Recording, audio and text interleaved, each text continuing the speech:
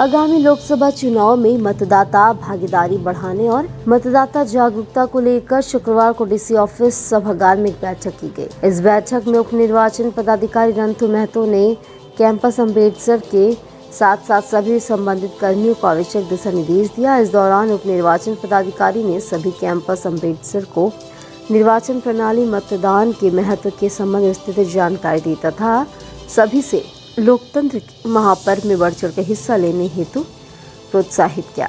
साथ ही सभी कैंपस अंबेडकर को मतदाता प्रतिज्ञा शपथ पाठ कराया गया। साथ ही बताया गया कि मतदाता अपने मतदान केंद्र में जाकर अथवा स्वयं वोटर हेल्पलाइन ऐप के माध्यम से अपना एवं अपने परिवार के अन्य व्यक्ति का नाम मतदाता सूची में पंजीकृत है या नहीं, इसकी जाँच कर सकते हैं। नाम मतदाता सूची में पंजीकृत करने हेतु प्रपत्र छह में आवेदन कर सकते हैं।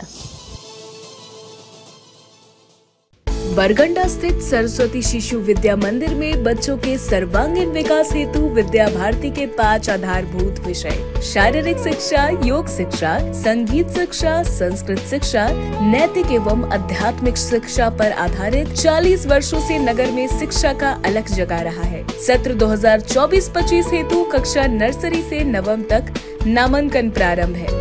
अत्याधुनिक संसाधनों से युक्त नौनिहालों को क्रिया आधारित शिक्षा, स्मार्ट क्लास, सीसीटीवी कैमरा युक्त कक्षा कक्ष, R water, computer lab, chemistry lab, physics lab, bio lab, library, नृत्य संगीत, खेलकूद आदि विषयों की सम्यक शिक्षा विद्यालय में बच्चों को दी जाती है। नगर एवं ग्रामीण क्षेत्रों हेतु बस सेवा उपलब्ध है। बच्चों के नामांकन हेतु आज ही संपर्क करें। स्थान सीमित है। वर्तमान सत्र में सोशल साइंस की शिक्षा इंग्लिश हिंदी माध्यम से तो जल्दी करें। हमारा पता है बरगंडा रोड, गिरिडीह।